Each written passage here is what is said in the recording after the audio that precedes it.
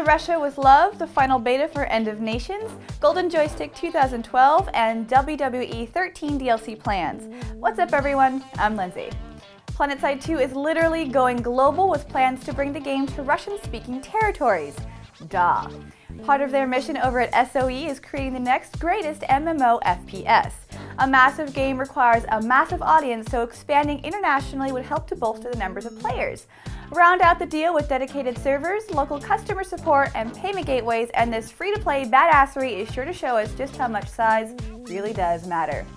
The highly anticipated free-to-play military strat game End of Nations has kicked off their fourth and final closed beta October 4th.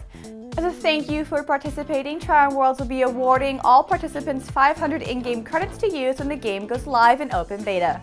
New features in this event include the Gargantuan Panzer Hulk unit, the four-player PvE co-op Comstop map, and Juggernaut, the four-player PvE co-op survival mode map. Trion has also lifted their NDA so players can celebrate their victories and lament their defeats with their friends. The beta is set to conclude October 7th. Speaking of friends, it helps to have them. In Golden Joystick's case, it helps to have YouTube as a friend, a huge, omnipotent friend who comes with Keyboard Cat. For those who aren't familiar, Games Master Golden Joystick is the oldest and longest running video game award show voted on by gamers. YouTube's partnership means that Golden Joystick can live stream the event as well as the sponsoring of a new category, the YouTube Gamer Award. The new category will recognize the biggest and best gaming videos on YouTube. Nominees include Yogscast, The Syndicate Project, and Total Biscuit. You can catch the stream live October 26th.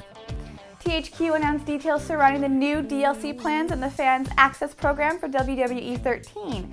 Three programs are packed with dozens of superstars and divas, new championships, and sweet new moves. WWE 13 is scheduled for release October 30th.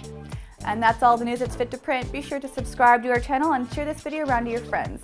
They'll appreciate your thoughtfulness. Thanks for watching. Game on.